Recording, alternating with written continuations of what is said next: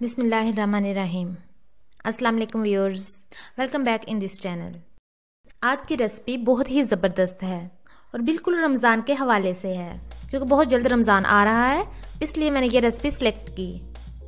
आज हम बनाएँगे समोसा रोल शीट्स, कि इसका आटा कैसे गूंदते हैं और इसको कैसे बनाते हैं।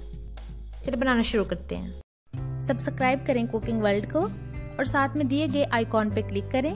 ताकि आपको डेली एक नई रेसिपी और एक नई टिप मिल सके। ये मैंने दो कप के बराबर मैदा लिया है। हंसपे जायका हम इसमें नमक ऐड करेंगे। और ये थ्री से four tablespoon oil add करेंगे। और ये मैंने नीम गर्म पानी लिया है। इसके साथ हम इसे गूंदेंगे। अगर हम नीम गर्म पानी से डो बनाएँगे तो इससे हमारे समोसे और रोल्स बहुत खस्ता बनेंगे। सबसे पहले हम नमक ऐड करेंगे। अब ऑयल ऐड करेंगे। इसको हम पहले हाथ से वैसे ही मिक्स कर लेते हैं। और बाद में थोड़ा थोड़ा पानी डालकर इसकी अच्छे से डो बना लेंगे। हमने इसकी डो को सख्त ही रखना है। और इसे गूंदते वक्त हमने ख्याल रखना है कि इसकी डो सख्त ही बने।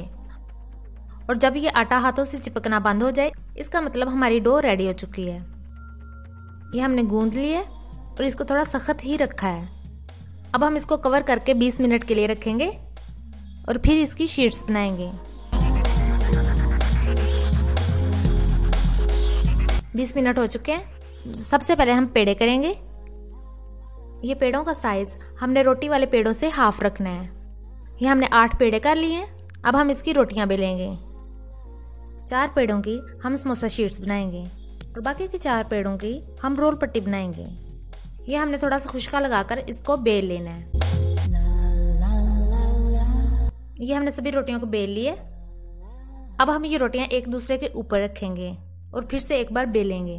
लेकिन रखते वक्त हमने हर शीट को ऑयल से ग्रीस कर लेना है। ऑयल या घी से इसको ग्रीस कर लें। इस तरह हमने अच्छे से ऑयल से ग्रीस कर लिया अब हम इसके ऊपर दूसरी शीट रखेंगे।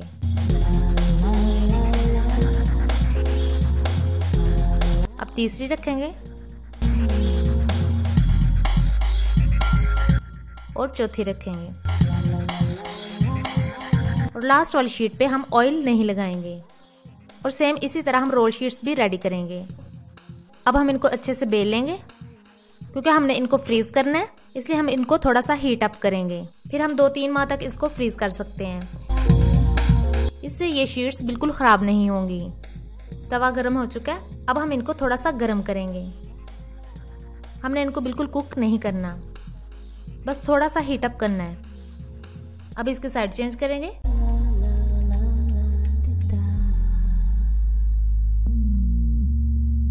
इसको अपने थोड़ा सा कुक कर लिए। अब हम इन शीट्स को अलग करेंगे। इस तरह हम सारी अलग कर लेंगे।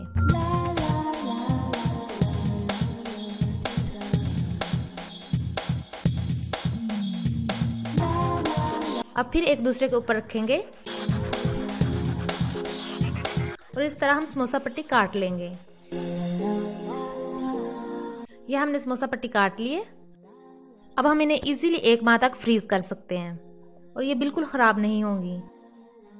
अगर आप रमज़ान के लिए बनाना चाहते हैं तो इस तरह आप शीट्स बनाकर रख लें और पूरा रमज़ान आपको बनाने की ज़रूरत नहीं पड़ेगी।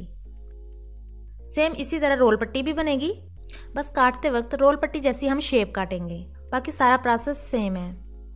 गैस आपको आज की रेसिपी कैसी लगी मुझे ज़रूर बताएँ। और अगर मेरी रेसिपीज़ अच्छी लगती हैं तो मेरे चैनल को सब्सक्राइब करें। लाइक करें और शेयर करें। मिलते हैं नेक्स्ट रेसिपी के साथ। अल्लाह हाफिज़।